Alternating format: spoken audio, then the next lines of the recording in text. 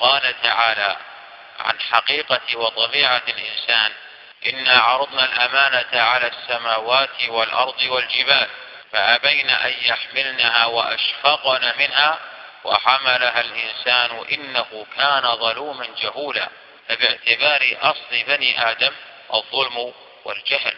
ولكن قد يرفعه الله عز وجل عن هذا المقام. قال تعالى قد أفلح زكاها. وقد خاب من دساها.